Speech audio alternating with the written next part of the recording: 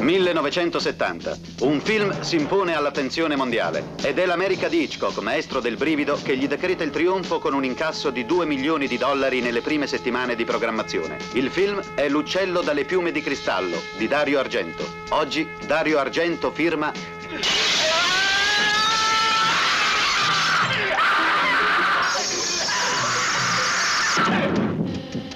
Il gatto a nove code.